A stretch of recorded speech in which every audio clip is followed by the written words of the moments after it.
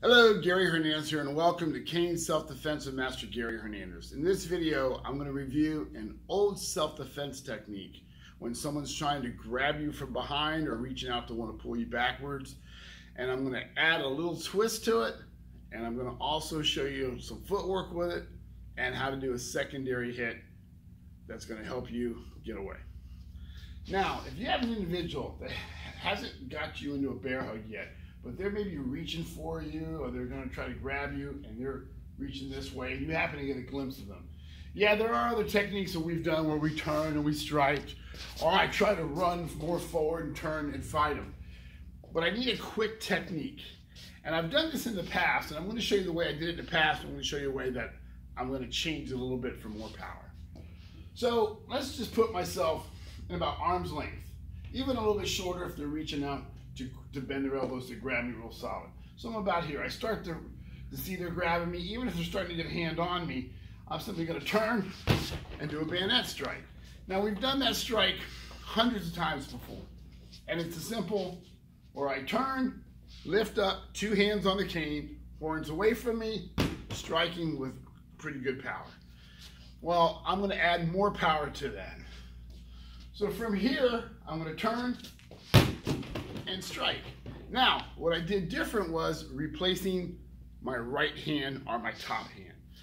Now, as the old one, and I'll get close so you can see the hands, as I turn and I'm holding it right here and here, where I'm holding to the top of the horn, holding kind of just below the middle to give me good power with that bayonet strike. On this one, I'm gonna turn and I'm gonna hold by the crook and down to the lower portion of the shaft just below the middle so I can get a good strike.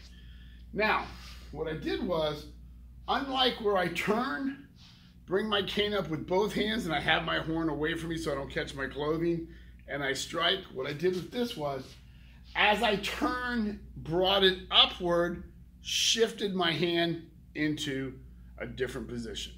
And all I did was holding the top of the crook, I turn, I brought it up, once I'm here, open this hand and I turned it a little bit to make sure that horn's away from me. Then I locked on.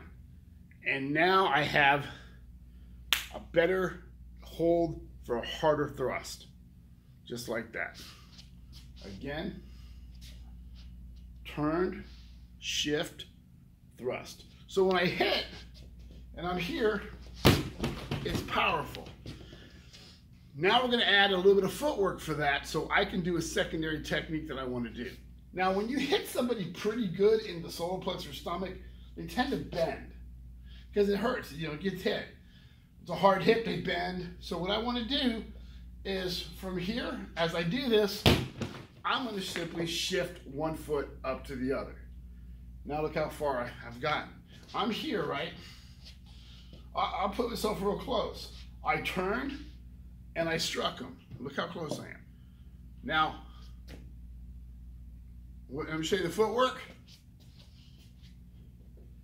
I turned, did my strike, my left foot slid up to my right to take about, about a foot further away. One more time. Just like that. Now, remember, we hit them so they kind of bent a bit. So from here, I turned, I struck, I slid up, and now, boom, I can catch them on the collarbone and cause a good injury right here.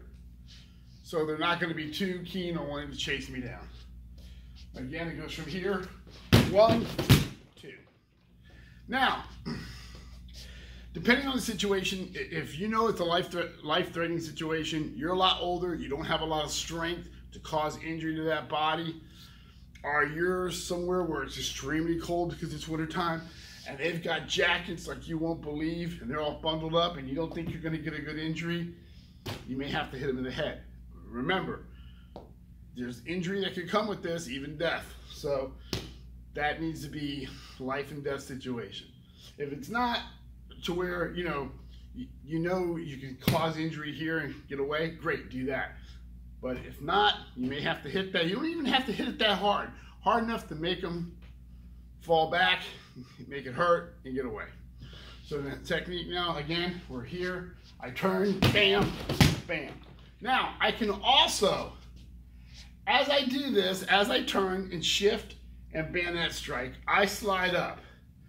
I got that one hand strike. I can also two hand strike it as well. So from here, turn, shift, bayonet strike, bring that foot back a little bit of distance, two hand strike to that collarbone. So do that technique. Give them a good shot if you, you know you're in trouble. One, two. That'll give you time to get away. Last time, real slow. I leaned out and I turned, shifted my cane around, shifted my hand, two hand bayonet strike, slid that foot to the other foot to create a little distance. Either single hand or double hand strike. So practice that technique. As I always say, make it yours, work it with both sides. Hopefully that helps. Gary Hernandez, and I will see you guys very soon.